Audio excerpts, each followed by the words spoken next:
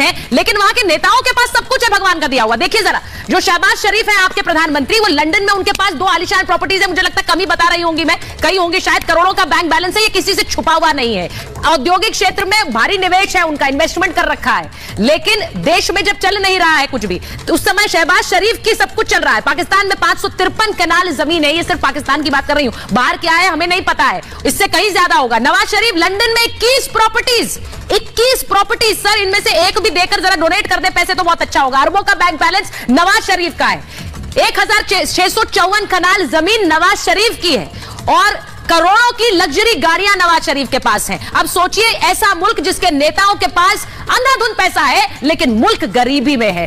बिलावल भुट्टो बिलावल भुट्टो जो बड़े बड़े बयान भारत पर देते हैं पाकिस्तान का रोना भी रोते हैं कि किस हालत में पहुँच गया, लेकिन दुबई में दो लग्जरी विलाज हैं। सोचिए, दुबई में दर्जनों प्रॉपर्टीज़ हैं इसके अलावा। ये बिलावल भुट्टो की बात बता रही हूँ, एक एकड़ ज़मीन, एक एकड़ ज़मीन किसके पास होती है, वो सोचता है, बहुत है मेरे पास, एक एकड़ ज़मीन यूएई यूएस में संपत्ति बिलावल भुट्टो की है। और बाजवा परिवार, आपके ex army chief sir 1200 crore के मालिक हैं। क्या किया इन्होंने छह साल में, कर्नल सिंह? सोचिए जरा सर आर्मी चीफ ने क्या किया ऐसा छह साल में कि इतनी प्रॉपर्टी इन्होंने बनाई?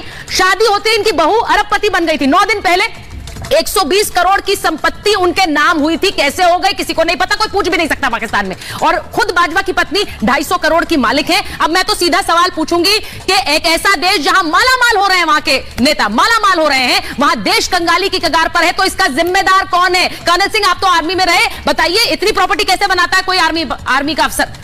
मैं तो कहता हूँ देखिए आर्मी किस लिए आर्मी किस लिए बनाई जाती है? आर्मी बनाई जाती है देश के लिए चाहे वो पाकिस्तान की हो चाहे वो हिंदुस्तान की।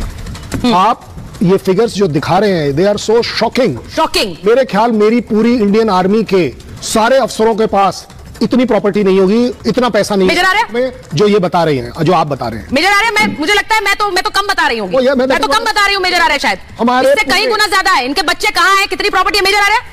कितनी प्रॉपर्टी अभी आपने सुना कि दो प्रॉपर्टी बेच दी और ये पैसा दे दिया उन्होंने? हज़ारों हज़ारों एकड़ के खानदान वाले नहीं बनते यहाँ पे प्रधानमंत्री। कॉमन मैन बनता है ये हमारी डेमोक्रेसी का पावर है।